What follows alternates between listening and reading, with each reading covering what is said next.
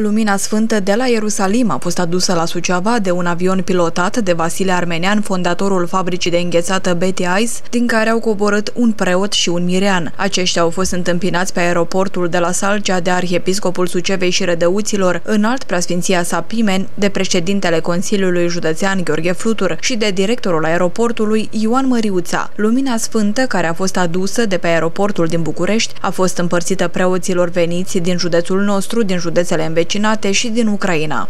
Și anul acesta avem marea bucurie ca Lumina Sfântă de la Ierusalim, de la Mormântul Domnului, să ajungă și la Suceava, la toate bisericile din Arhiepiscopia noastră, cu binecuvântarea înalt preasfințitului Părintele Pimen, Arhiepiscop al Sucevei și Dăuților.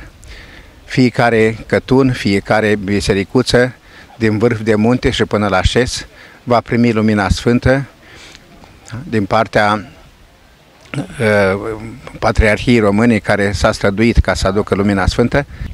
Dacă dau timpul în urmă, prima dată Lumina Sfântă a ajuns în România, aici la Suceava, în 2009. Am avut marea șansă să fac parte din delegația care a mers la Ierusalim, după care am mers patru ani la rând la Ierusalim să primesc și să aduc Sfânta Lumină. Este ceva care nu se poate explica în cuvinte. Pentru mine, ca un simplu credincios, îmi aduc aminte de fiecare dată așteptarea pe care am avut-o în fața mormântului sfânt în jurul orei 14. 14 și 20 de minute au fost uh, diferite orele la care a venit Sfânta Lumină. Dar este ceva extraordinar de emoționant și de profund. În noaptea de înviere, bisericile și mănăstirile au fost neîncăpătoare pentru credincioși. Oamenii au venit la miezul nopții, au luat lumina, au cântat și s-au rugat.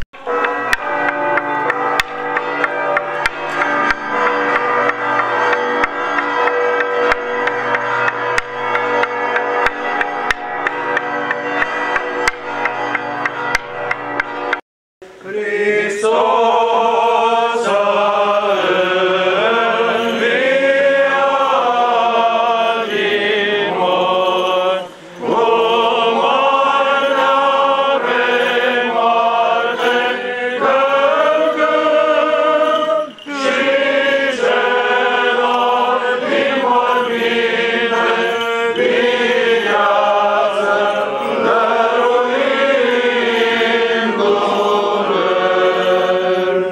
mănăstirile din județul Neamț au atras mii de credincioși în noaptea de înviere.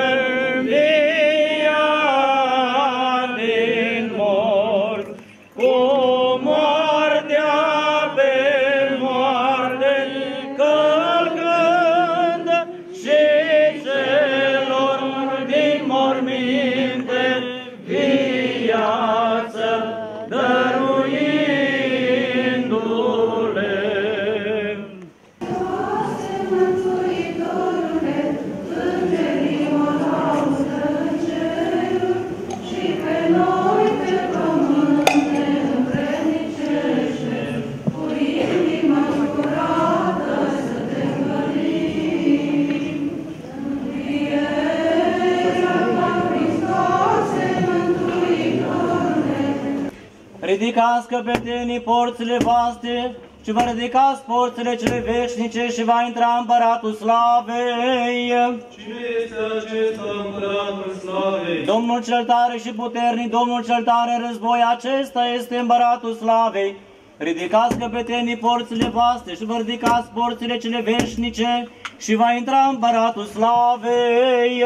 Este acesta împăratul slavei. Domnul cel tare și puternic, Domnul cel tare război, acesta este împăratul slavei. Ridicați căpetenii porțile voastre și vă ridicați porțile cele veșnice și va intra împăratul slavei. Slujba religioasă s-a încheiat la orele dimineții când preoții au sfințit bucatele aduse la biserică de credincioșii care au postit.